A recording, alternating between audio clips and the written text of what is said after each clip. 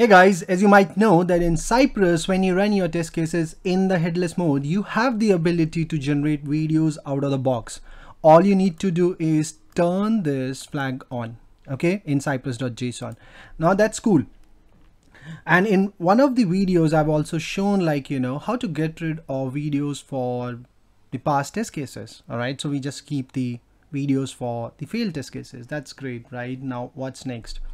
Now at times you might have realized that you know the videos of the failed test cases might require to be extended slightly.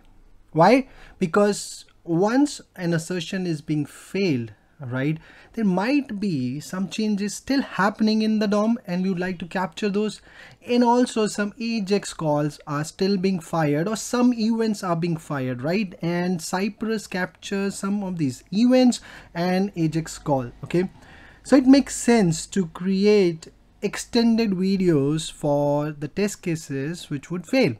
Now how to accomplish that? Now there's a very simple trick that we are going to use to accomplish it. This is our test case which would fail. So let us execute this test case. Currently there is no video folder being created inside Cypress folder. So once we run this, a video folder would be created and a video file would be generated inside that okay let me hit enter and wait for that file to be created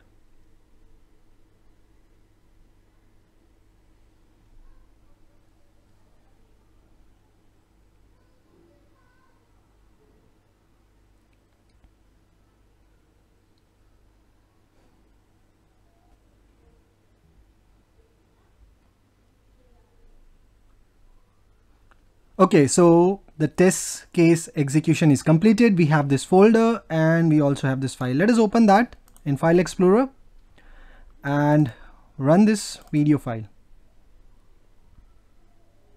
Okay, so currently you could see the length of this is 19 seconds. Okay.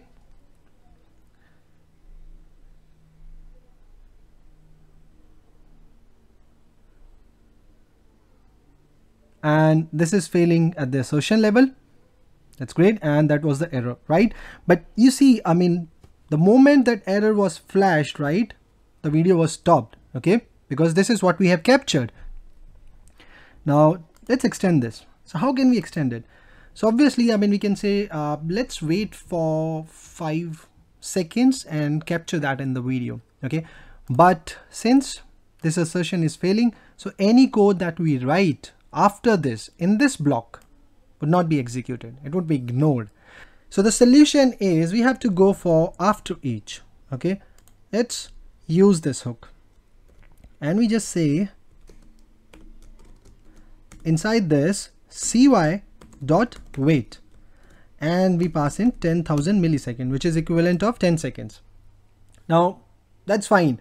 So after each hook will give us the window of 10 seconds. So we'll have 10 seconds extended video. But the problem is this after each hook would get executed after each and every test case, even for the test cases that are getting passed, which means that this is going to slow down our execution. Okay. So what can we do? So if we can filter out that this logic has to be applied only for the failed test cases, then we are good to go. All right. How can we do that? So we have to make use of this keyword and I have already mentioned it.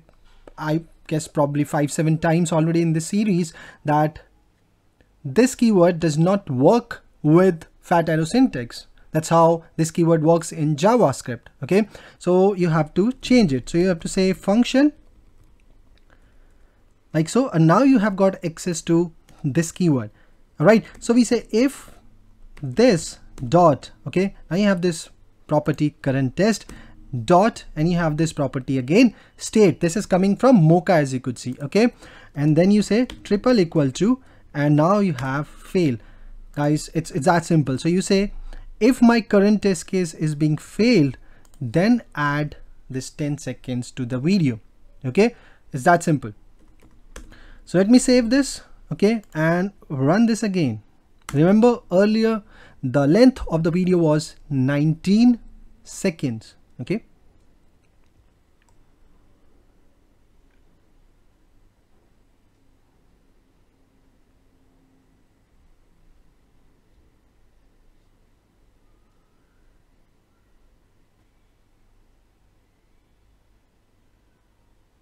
Alright, so test execution is completed and our video is also generated.